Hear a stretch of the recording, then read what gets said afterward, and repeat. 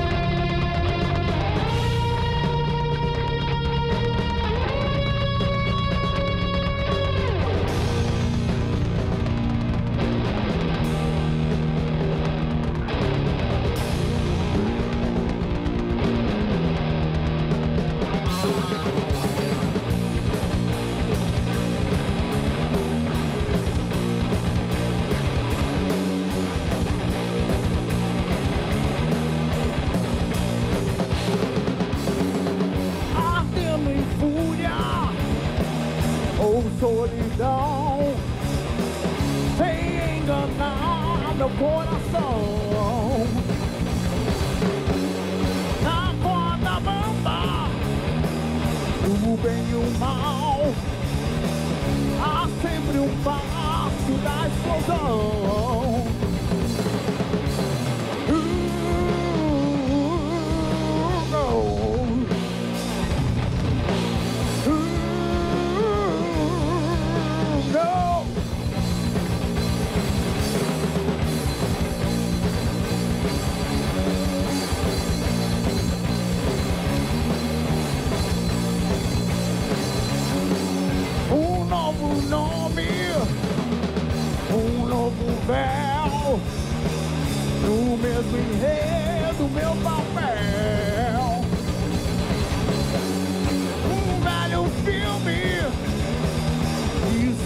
Perdeu num ponto entre inferno e céu.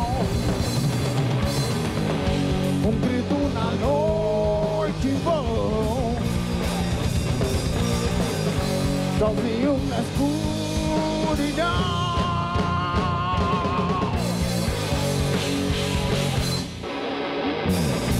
Eu vivo terror, medo e paixão, sozinho na escuridão.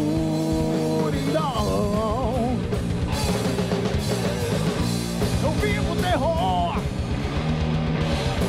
e paixão, sozinho na escuridão. Sozinho na escuridão.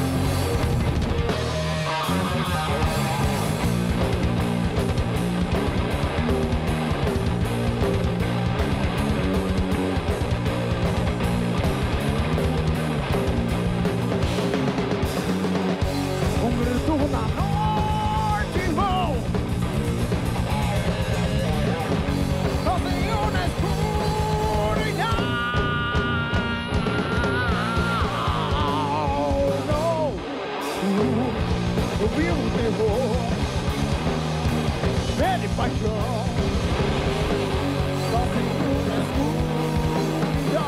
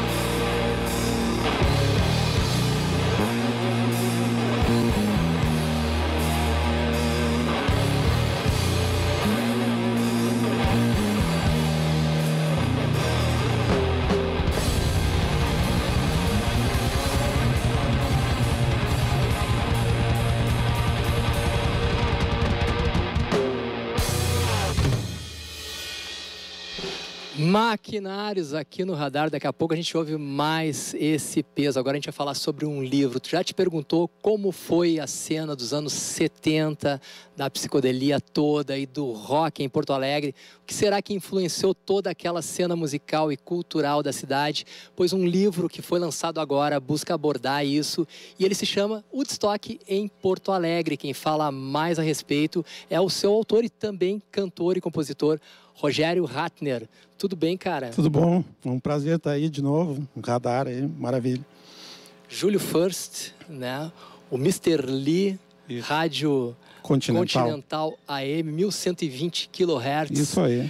Cara, fala um pouco sobre esse personagem, esse comunicador, né, cara, que é o Então, fio condutor do, do, do, do teu livro, né, cara? Isso, isso. Qual foi a importância dele aí pra, pra música, pra cultura aqui do estado? Aham. Bom, o Júlio até hoje está nativo Tá aí na, nativo, na, é, Ita- 102.3. né, na antiga Itapema, 102.3, né? Ah, então, o lance é o seguinte, assim, o Júlio foi convidado para fazer um programa, né? Eh, que as, as lojas Renner tinham interesse em lançar as calças Lee no Brasil, né? Que até então era só pirateado, era assim, tipo, né, contrabando mesmo e tal. E, e daí ela fez um- uma união com, a- com as ah, calças Lee lá dos Estados Unidos e tal, e lançaram aqui no Rio Grande do Sul, né? E para promover, elas eh, eh, contrataram um espaço na Rádio Continental AM, né? E o Júlio foi convidado para fazer a apresentação desse programa. Então era o programa do Mr. Lee, né? Por causa das calças Lee. Sonho né? de todo mundo. Sonho de todo mundo né, naquela Aquelas época, imagina, não né? de jeito nenhum, não né, não entrada, entrava nada de importado aqui, né, e tal. Ah, e daí, assim, ele começou, né, seguindo o esquema do programa, que era mais ou menos assim, de rolar música pop americana e country, principalmente, né. Só que aí ele foi convidado para, em, em 75, né, foi convidado para participar do, do, do, do júri do Musipuc, né, que era o festival universitário mais importante que tinha aqui em Porto Alegre, né, e tal, da, da MPB também, que tinha alguma coisa de rock e tal, mas era um festival bem aberto, né. E daí ele ficou maravilhado ali com vários dos trabalhos que foram apresentados, né? E aí ele teve a ideia de levar o, o pessoal para gravar lá no estúdio da Rádio Continental, ficava lá na Praça da Alfândega, no edifício do Sim, relógio, que o pessoal sim, fala, né? E gravar lá na própria rádio, né? Que eles tinham o estúdio A e o estúdio B. Aí de noite, de madrugada, o pessoal ia lá e gravavam né, os, eh, as músicas ali e tal. Ne- Nessa leva foram né, os Almôndigas, que é o grupo do, do Cleiton e Cleidir, né? Que é um, assim, um grupo talvez inaugure um pouco assim junto com o Liverpool nos anos 60, mas que deu continuidade, digamos, a uma, a uma certa psicodelia assim, né? Com- misturando com, com música regional gaúcha e, e- e MPB e tal. Né, o, o grupo Utopia, que também era bem né, psicodélico, era do Bebeto Alves, né, liderado pelo Bebeto Alves, um trio acústico, né, com os irmãos Frota. Eh, o Nelson Coelho de Castro, né, o Fernando Ribeiro, que era um dos principais compositores de MPB aqui, né, bandas como o Bizarro, né, que eram power trio, assim, né? Na época com, se dizia rock pesado, naquela época não existia heavy metal, assim, o, rock, né? É o que seria o hard rock hoje, né? Basicamente, assim, é, o Bobo da Corte, né? Com, com alguns ex-integrantes do, do, do Bicho da Seda, né? Que foi a principal banda gaúcha do, de rock, assim, dos anos 70, né? E, assim, mais de. de se, se, juntar tudo, deve dar quase 100 artistas, assim, entre, entre bandas, artistas, grupos Sim. e tal. E eles, esses grupos aí participaram também do, do concerto Vivendo Exatamente. ali no Dili, que ele organizou, né? Que é. aconteceu aqui em Porto Alegre, no interior, também em Curitiba, isso, né, isso. cara? Exatamente. Aí ele passou para um segundo estágio, né? A partir do sucesso que, que passou a ter a rodagem do pessoal na, na rádio, assim, né? É, ele organizou vários concertos, né? Um ficou mítico, né? Por isso o livro né, tem esse título de estoque em Porto Alegre, porque foi realmente o que mais eh, bombou, assim, né? Que encheu o Araújo Viana. O Araújo Viana naquela época não era coberto, né? Mas lotou o Araújo Viana. Foram mais de nove horas de show, mais de 40 artistas se apresentando, assim, entre bandas, grupos, né? E foi assim um, um evento, né, um divisor de águas na história da, da nossa música popular, do, do, nosso rock, né? Porque até então, assim, nos anos 70 estava meio parada a coisa, né? É, eventualmente alguma banda fazia né, um, é, shows no, no, clube de cultura ou no teatro de câmara, né? Não existia teatro Renascença. O Teatro São Pedro foi fechado em 84, né? Num show até do, do, do Liverpool caiu um pedaço do teto, do teto né? né? Então rolou essas histórias, tava bem devagar assim a cena. Então isso aí deu um boom, né? E depois do, do Mr. Lee, assim, a cena né, de MPB, de rock, enfim, é, cena urbana, né, música urbana de Porto Alegre, do Rio Grande do Sul, nunca mais foi a mesma. Aí só aí foi para cima. Né? Os caras semearam esse solo aí, né? Que Exatamente. tu pegou lá em 84, quando começaste também a tua carreira, né? Sim, sim, então, sim. Uma década depois, né? Cara? Exato. Cara, muito obrigado por participar aqui do Pô, Radar, velho, é um, né? Uma honra sempre. Muito legal o teu livro aí. Bacana. A gente está divulgando aqui tá também. Tá bom. Valeu. A gente vai para um rápido intervalo e já volta com o Radar aqui na TVE. Continuem ligados.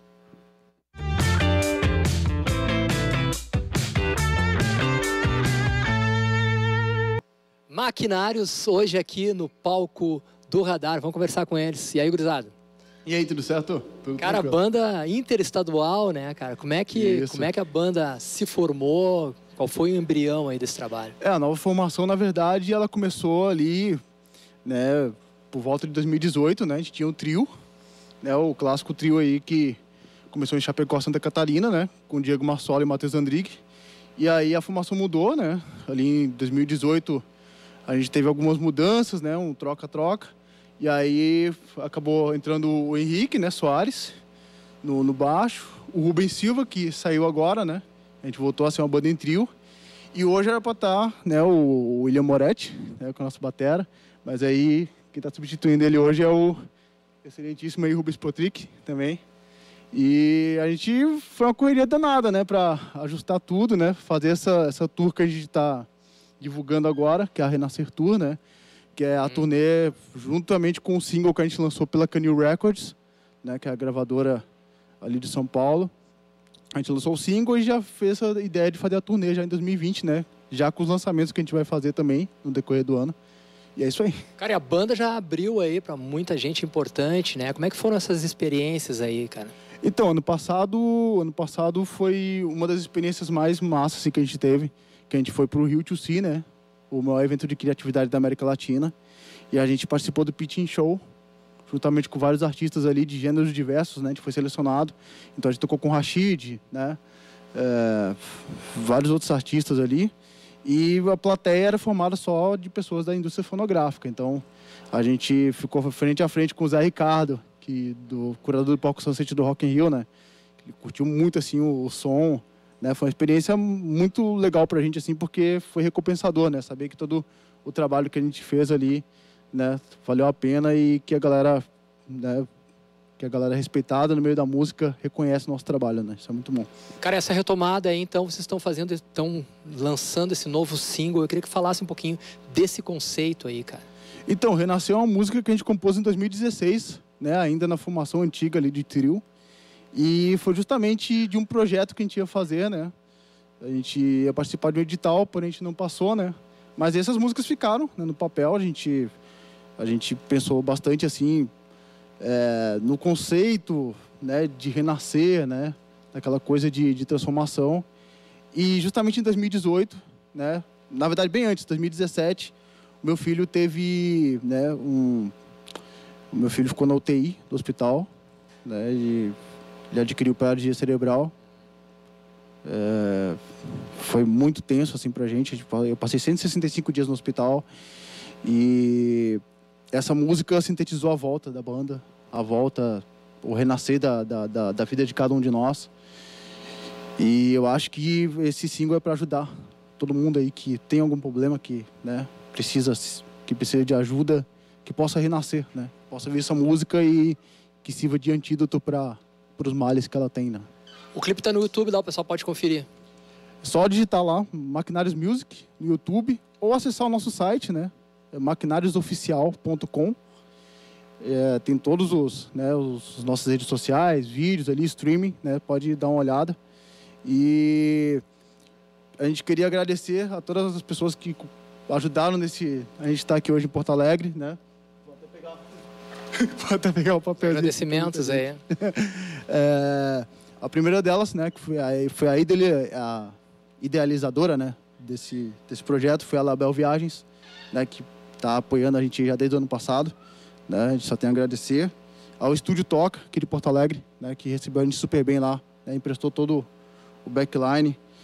A Power Horse Amps, né, estou usando o amplificador da Power Horse aqui, tipo, excelente, sonzeira, né, agradecer a galera da Power Horse aí, muito, muito legal ao Léo James, né, que está aqui hoje, que ajudou a gente em todos os quesitos. E a Índia ao Louis, né, que vão participar aí no domingo com a gente no, no evento, né, no Nós Bazar. E o pessoal também da Toca do Músico, no qual a gente vai fazer um workshop acústico também no sábado. Né, vai ser bem bacana aí. A gente vai estar tá fazendo uma movimentação bem massa. Beleza, cara. A agenda de vocês está na tela lá, uma ótima turnê, cara. Bem-vindos aí a Porto Muito Alegre. Obrigado. Vamos fechar ouvindo mais uma, então. O radar vai ficando por aqui. Antes de encerrar, então, vamos conferir mais uma da Maquinários. A gente volta segunda-feira, neste mesmo horário, neste mesmo canal. Valeu, companhia. Bom final de semana. Beijos. Tchau.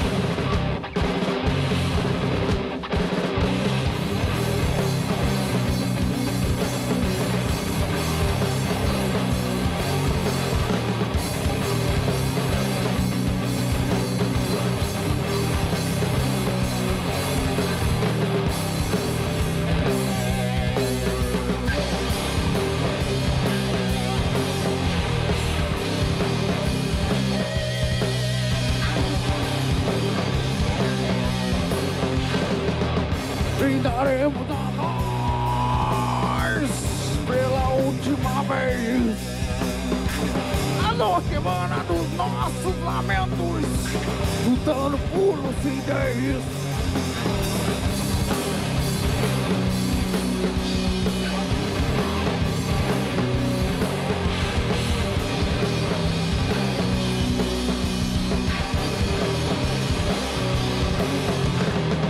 A noite fria chega como uma bala, eu não consigo desviar da sua mão pagando preço pelos meus velhos erros, sentindo a sina na contramão.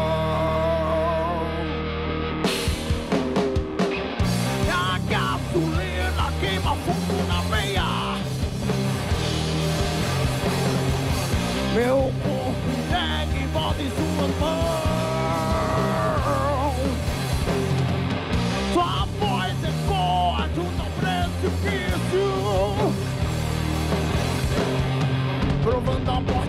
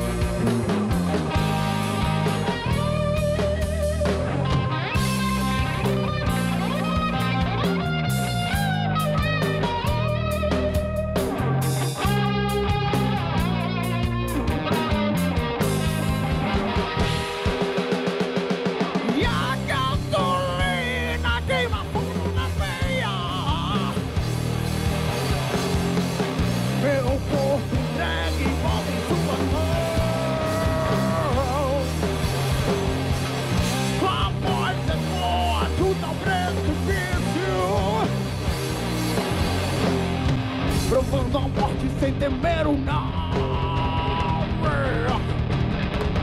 Vou renascer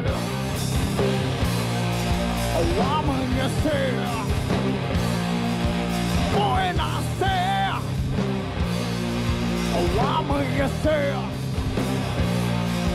Vou renascer ao amanhecer. Vou renascer ao amanhecer. Ao